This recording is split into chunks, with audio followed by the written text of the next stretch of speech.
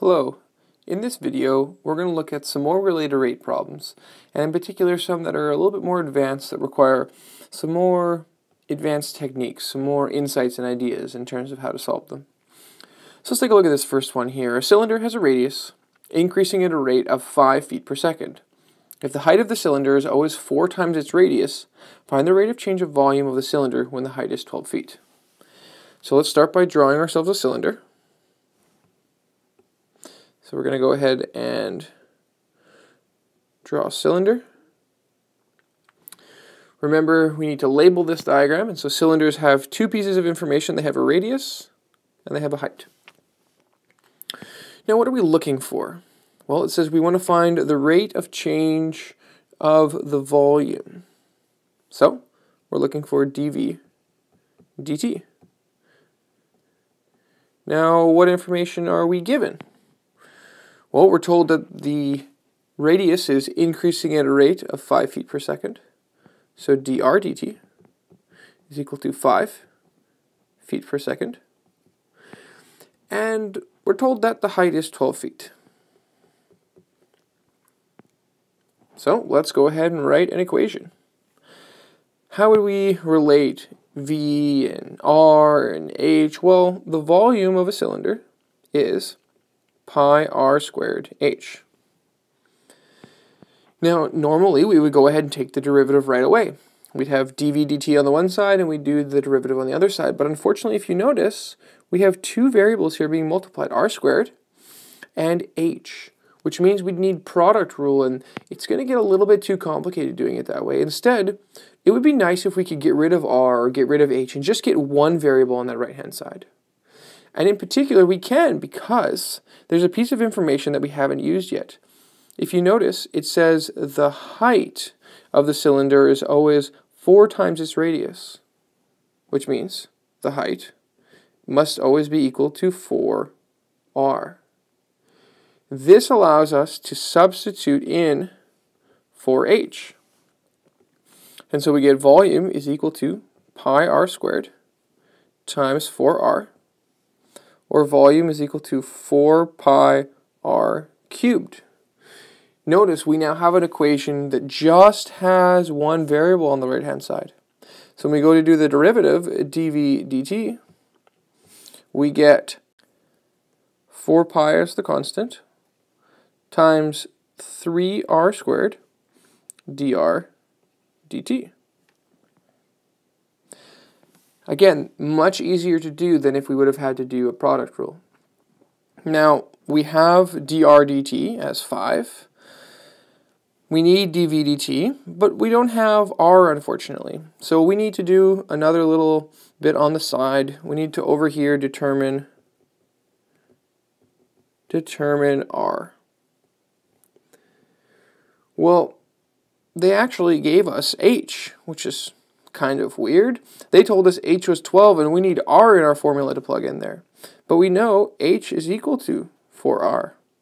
So 12 is equal to 4r, or r will be equal to 12 over 4, which is 3. Let's go ahead and combine all of our information to find dv dt. So dv dt is equal to 4 pi times 3 times r is 3, so 3 squared. dr dt is 5. So we're going to go ahead and multiply all that together. We want to be a little bit clever about our multiplication just because we don't have a calculator. So I'm going to do these 3's together. 3 times 3 times 3 is 27. And I'm going to group the 4 and the 5 together. So that's going to be 4 times 5 is 20. And there's still a pi sitting in there. Now 20 times 27, well 2 times 27 will be 54. So this is 54 and then an extra 0. And we put the pi. So 540 pi is our dVdt. So we could say that in words, the volume is increasing because it's positive. Increasing at a rate of 540 pi. Now volume is measured in feet cubed because the units were given in feet.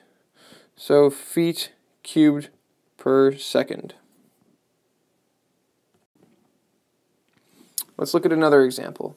Object A is 15 meters east of object B and is moving due north at a rate of 2 meters per second, while object B is moving due south at a rate of 3 meters per second. Find the rate of change when the distance AB, or sorry, find the rate of change of the distance AB when time is 4 seconds. Well, let's try to draw a picture here. We need to figure out what's going on. So we have object A and we have object B. So here we have object A, and object A is moving north. And it's east of object B, so object B is going to be over here somewhere. Here's object B, and it's moving south.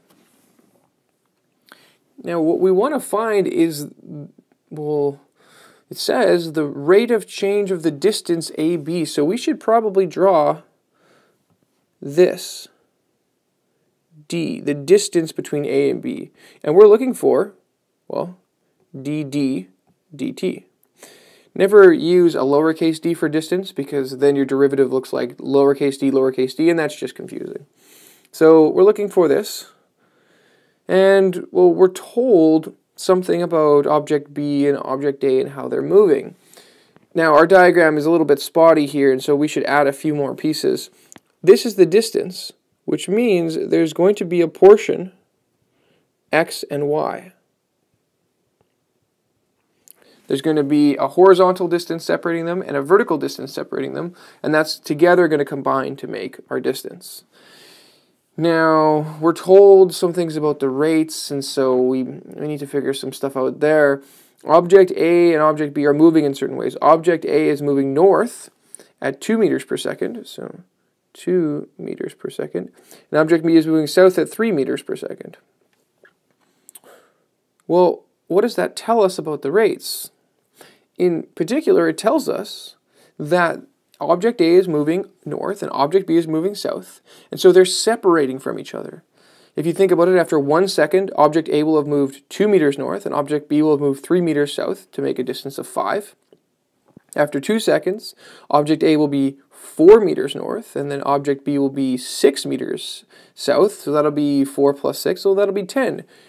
We can see that the distance in the y direction, the, the amount of y that's being created between A and B is increasing at a rate of 5 meters per second because we take that 2 and we take that 3. And 2 plus 3 is 5. So we have 5 meters per second as our dy dt, and we know the time is going to be equal to 4 seconds. Well, it looks like our good friend Pythagoras is here to help us d squared is equal to x squared plus y squared. Now, we could take the derivative right away, but we actually probably shouldn't have labeled it as x because are either a and b moving left or right? No, they're moving according to the question due north and due south. That means exactly north and exactly south. So rather than calling this x and x, we probably should call it just a straight 15 because the difference between them is always 15. Whenever we have a number like the length of a ladder or the distance between two objects that's not changing, we don't want to put it as a variable because it's not varying. So instead of writing it as x squared, we're going to write it as 15 squared. But the distance overall between them, and of course the, the vertical distance, those are both changing, so we'll leave them as variables. Now we can do some calculus. So the derivative of d squared is 2d, dd dt, equals, well 15 is gone, 2y dy dt. Now we know y dy dt, so we can plug that in. Uh, we don't know capital D, we don't know uh, little y. So we should determine both of those. So here's our little work on the side. Determine looks like this one and this one need to be determined. Y and D. And they gave us time as 4 seconds, which unfortunately doesn't get plugged into the equation, but that's okay. We know time is equal to 4 seconds. And so using some basic logic here, maybe a little bit of physics or maybe just a little bit of intuition after 4 seconds, what will be y, if you think about it for a bit, y is increasing at 5 meters per second. So 5 meters per second times 4 seconds gives you 20 meters. So 20 meters of distance after 4 seconds. And if you think about that, imagine going back to A and B, it makes sense. They would be separated by 20 meters after 4 seconds. A would have moved a total of 8 north, uh, B would have moved 3 times 4, 12 south, so 8 and 12 definitely give 20. Now we can determine capital D using this equation here. So we know d squared is equal to 15 squared plus 20 squared. Now if you're paying attention, this is actually a 3, 4, 5 triangle, but we can go ahead and solve it using algebra. So 15 squared is 225. 20 squared is 400. That'll be 625 and the square root of 625 is indeed 25.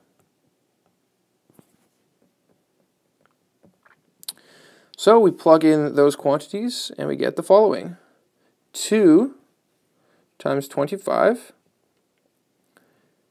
dd dt is equal to 2 times 20 times 5.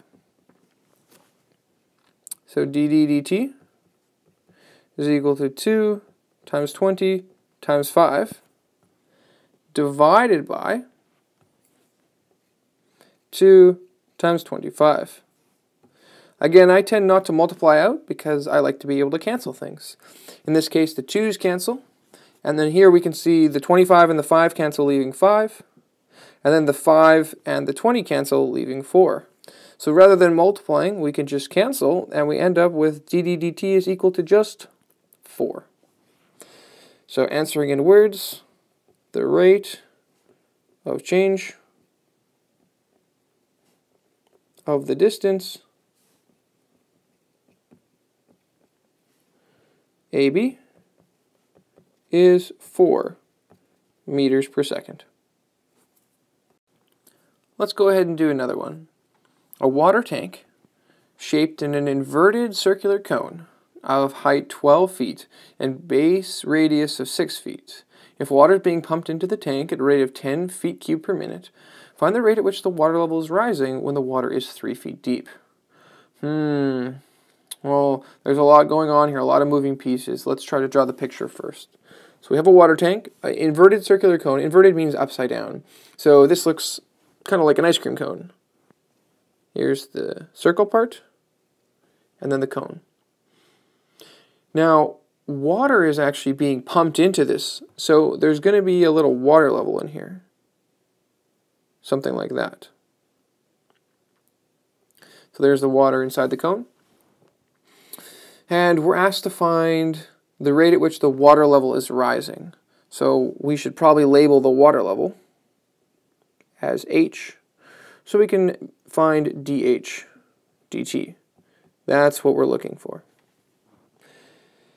Now we're told that the water is being pumped into the tank. As water is added to the tank, you can notice that we have a feet cubed. That's a big hint there. The water that's being added is increasing the volume of water. So we know dV dt is equal to 10 feet cubed per minute.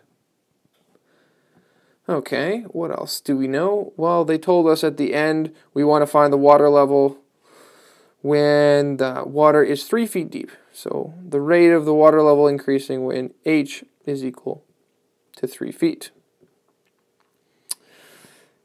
Looking back at my h over here, it's just so tempting to see a little mini cylinder, or a little mini cone, sorry, inside of the big cone. And so I'm going to label this with a radius r. That's for the little cone. We have a little radius r for the little tiny water cone inside the big cone.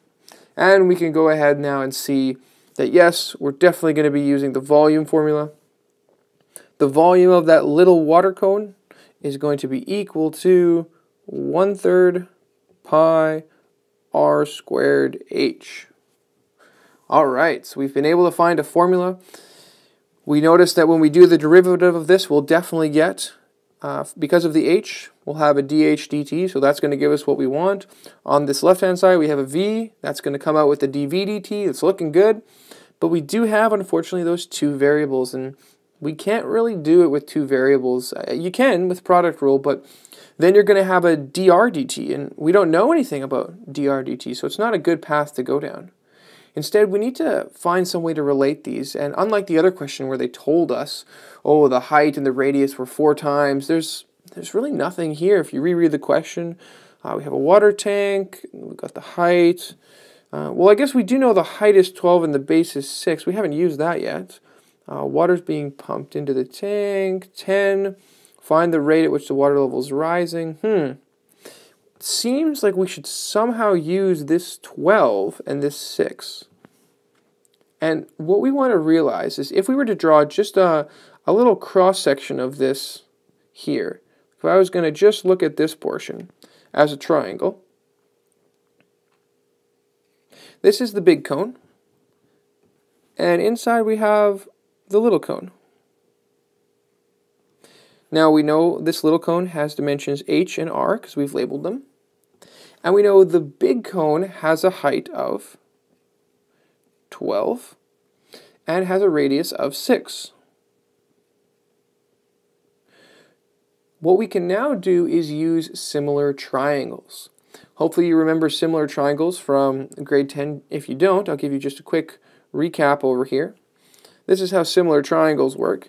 If you have a triangle like this, which is 3, 4, and 5, and you have another triangle that is the same version of it, but just scaled up. And let's say this is 8, uh, and maybe this is 10, and you were trying to find this side C, or maybe I'll call it, call it X. You're trying to find that missing side X. What you can do is you can put the sides in ratio to one another.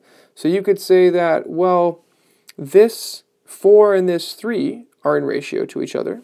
So maybe 3 over 4 and that ratio between the 3 and the 4 has to be the same as the ratio x over 8 because the proportions of these two sides have to equal the proportions of these two sides because this triangle has just been scaled up or scaled down.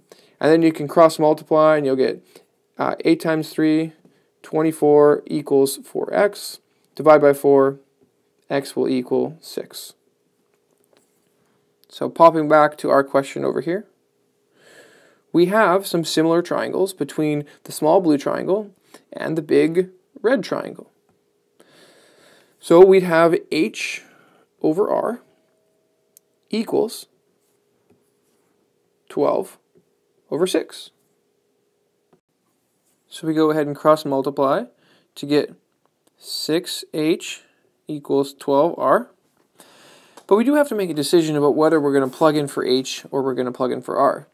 Initially, you might think, oh, well, h is sitting right there. Seems like I should maybe divide both sides by 6 and I'll plug in for h. But let's think that through.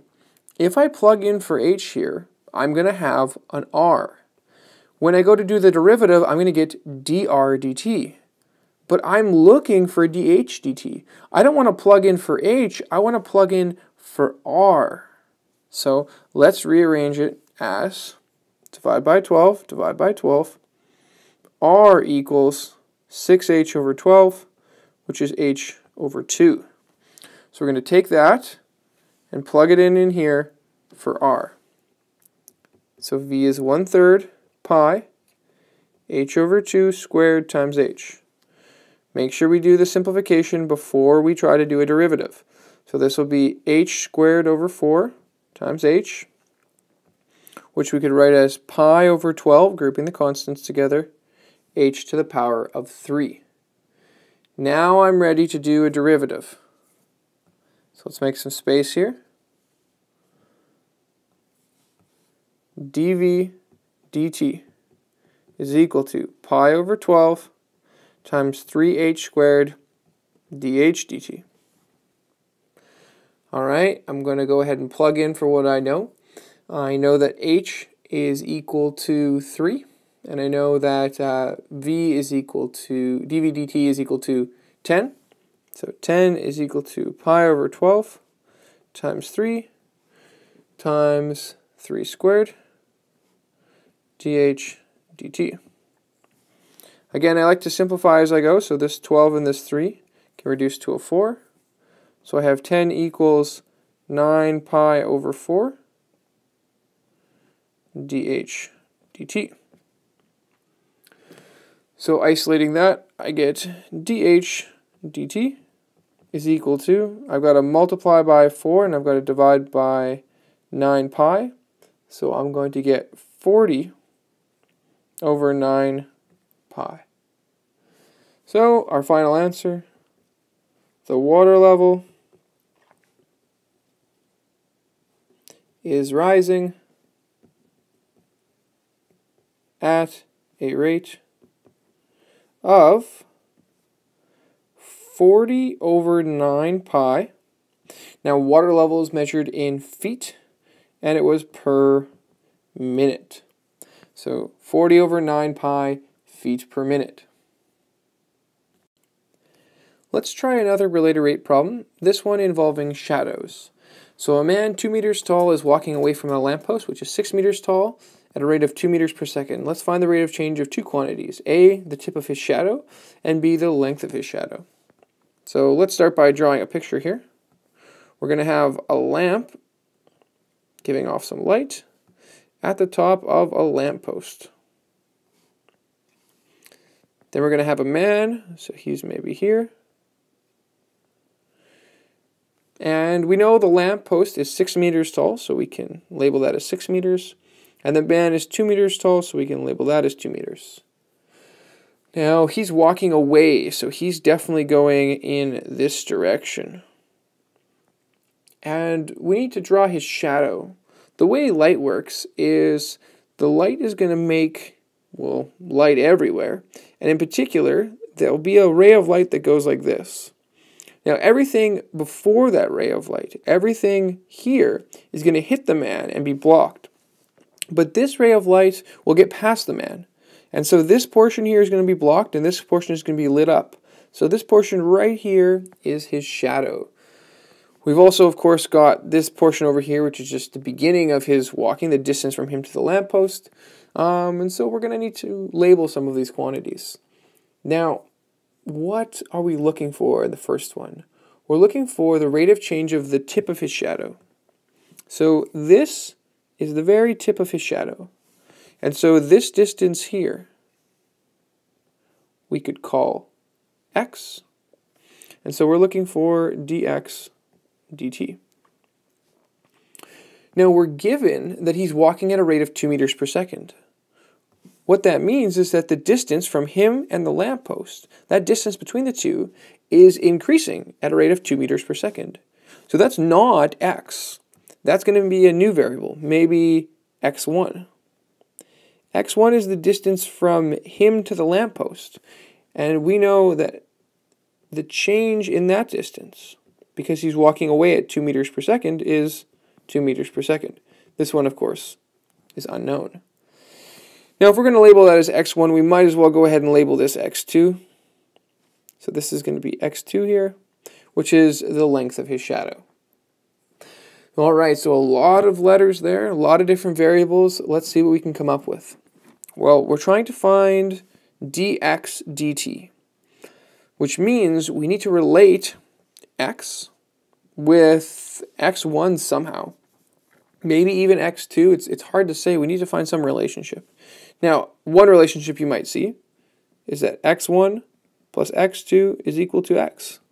And that's a great idea. If we have that as our relationship, that is true. x1 plus x2 would be x. And we could take the derivative. So dx1 dt plus dx2 dt is equal to dx dt. So that's good. And now we have dx dt but we also have dx2 dt, and we don't have dx2. In English, this represents the rate of change of the length of his shadow, because his shadow is x2, and so it's how fast is his shadow growing? Well, we need to probably find dx2 as well, so it almost seems like we have to find a and b together. It's not as though question a comes first and question b comes second.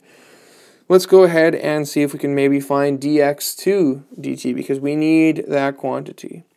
So now we need to determine, we need to determine dx2 dt. And to do that, we're going to look at similar triangles. Because if you notice, there's a little triangle here between the man and his shadow, and there's a big triangle here with the lamppost. So we'll draw that right here. And those two shadows are similar, or those two triangles, I should say, are similar triangles. It's just a scaled up version. The big one is a scaled up version from the small one. So we can relate, in this case, it looks like the 2 and the 6, and the x2 and, and the x, we're going to relate some of these sides. So in the little triangle, which we'll draw in blue here, x2 over 2 would be equal to x over 6. Okay, well let's go ahead and rearrange that. If we multiply both sides using cross multiplication, we're going to get 6x2 equals 2x. Now in some ways we maybe should have taken this equation here and plugged it in here first. It might have been a little bit easier because it would have gotten rid of our x2. And you could go back and do that. You could plug in for x2 here and that way we wouldn't have to determine dx2 dt. But what I'm going to do is show you that we could just continue on. Even though we maybe should have plugged it in earlier, we can still make a save here.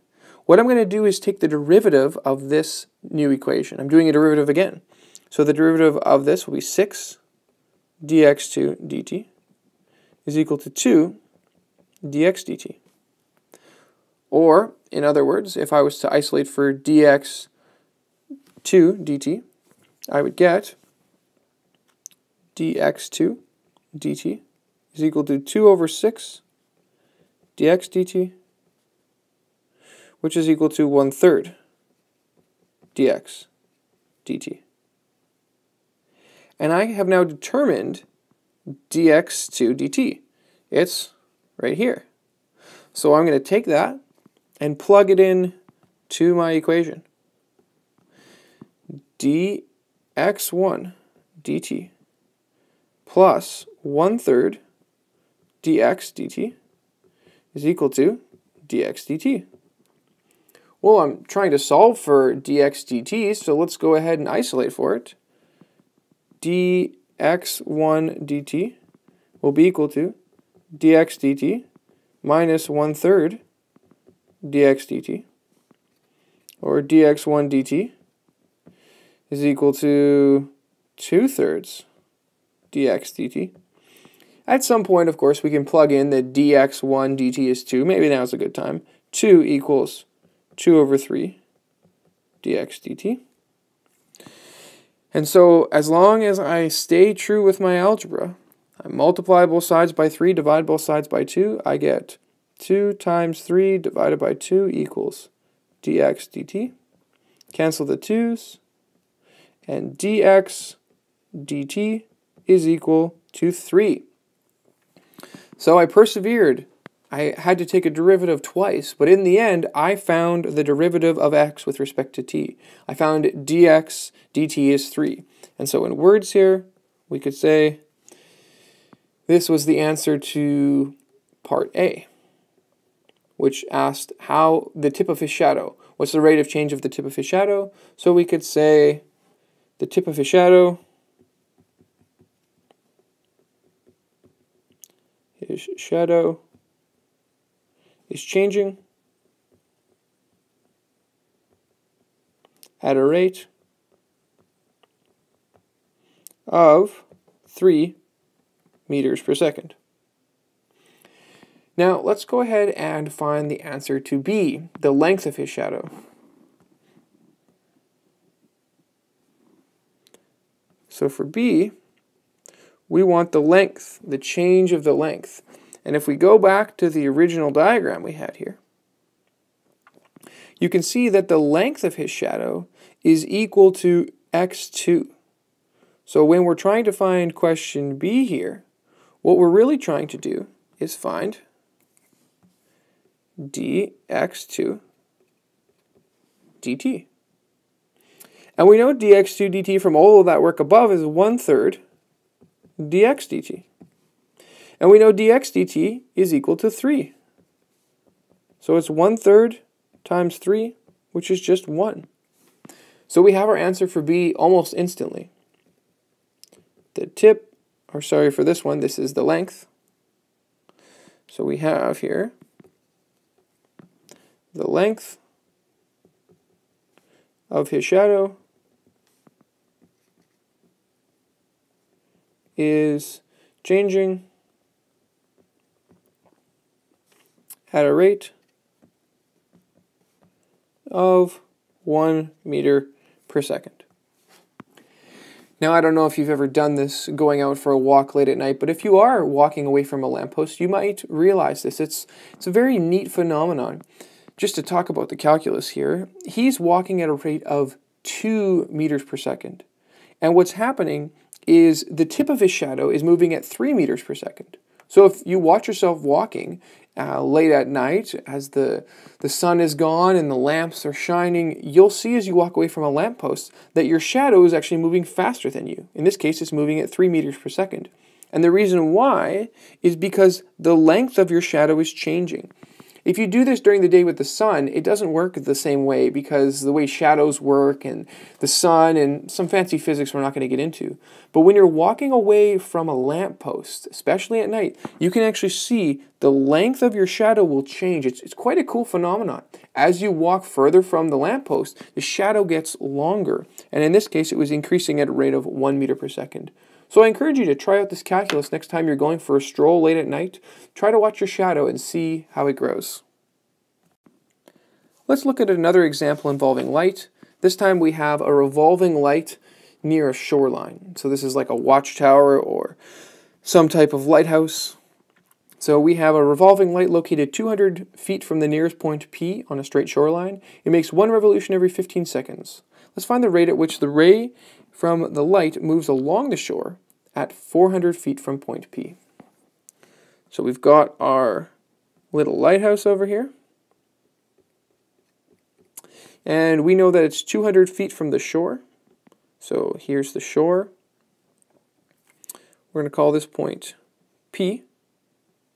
So we know this is 200. It's not changing. The lighthouse isn't moving.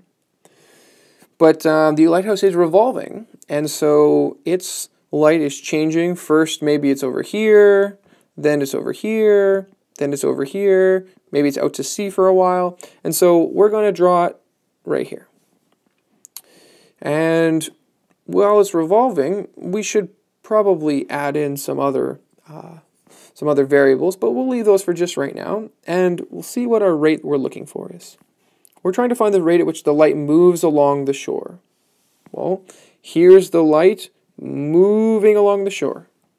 So that tells us we should add an x over here. And we're looking for dx dt. Now I need some way to relate these, and of course I need to write down the other information I know. Uh, it tells us that it's going to move along the shore at a point 400 feet from point P. So I know x is going to be equal to 400 feet. But I need a rate, I need a derivative, I need some way of, of getting other information from this question. And in particular, I'm told it makes one revolution every 15 seconds. How do I include that in my diagram? Well, if we're revolving, that means the angle is changing. And so I'm going to put a theta in here. Now, it's making one revolution every 15 seconds. So we need to say something about d theta dt. Now I encourage you to pause the video for a second. Think about how you would relate one revolution to 15 seconds in terms of a derivative. Alright, hopefully you've given it some thought. One revolution has a total of 2 pi radians. And it takes a total of 15 seconds. So the angle is changing at 2 pi over 15 rad per second. All right, now that we know we're focused on this angle, it becomes very obvious. We need to relate x and 200 and theta. Tan is clearly what we're going to use. Tan theta is equal to x over 200. We've got theta, we've got x, we're looking for the derivative of x, so let's go ahead and do derivatives. The derivative of tan is secant squared, then d theta dt. Here we're going to get 1 over 200 dx dt. So we need to find something to plug in. We've got uh, definitely the d theta dt plugging in, but unfortunately we have this secant squared theta. We got to plug in for that. We don't know what secant squared theta is. We don't even don't even know what theta is. My goodness, how are we going to find this value? And you could try to find theta if you wanted. You could work really hard and you might be able to determine it, but I have some bad news for you because we're looking at the question without a calculator. You're not going to be able to do sine inverse or tan inverse to find that angle. And so we need a bit of a different approach. Here's how I'm going to determine secant. So let's move it over a bit here. We're going to determine secant of theta. I'm going to start with that equation like we usually do. So I have tan theta equals x over 200. And we're told what x will be. So we have 400 over 200, which is just 2. Okay, so tan of theta is is 2. But this is where we get into that issue. Do you know in the unit circle what value of theta gives 2 from tan? I certainly don't. And so we won't be able to find theta and then find secant theta using that method of going straight to the theta. But is there a relationship between tan and theta? Or tan and secant? Or, or secant squared and tan squared? Is there some relationship here? And indeed there is. If you think back to pre-cal, you might remember an identity.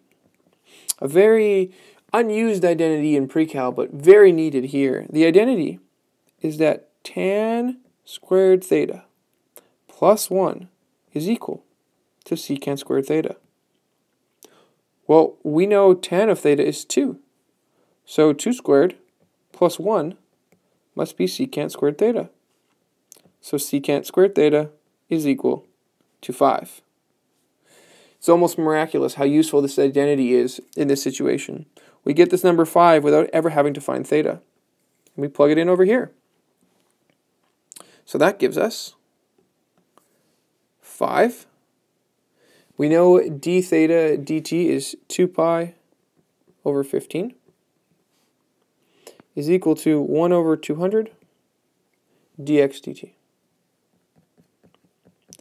So we'll go ahead and multiply dx dt is equal to 200 times 5 times 2 pi over 15. We need to simplify, so I'm going to cancel that 5 with a 15 giving me 3. 200 times 2 will be 400, so 400 pi over 3. So the ray is moving at a rate of 400 pi over 3 feet, because we're just measuring it in simple feet, per second. So for homework, you can try the related rates worksheet, questions 1 through 12, and there are solutions for all of the questions on the pages that follow. Thanks for watching.